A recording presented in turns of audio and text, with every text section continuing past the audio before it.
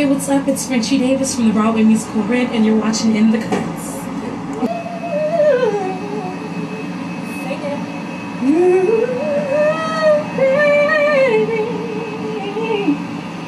Wow. You got a high voice. Poor guy. I would call it a low. Hello, My name is Chris Tian, and I am here for In the Cuts.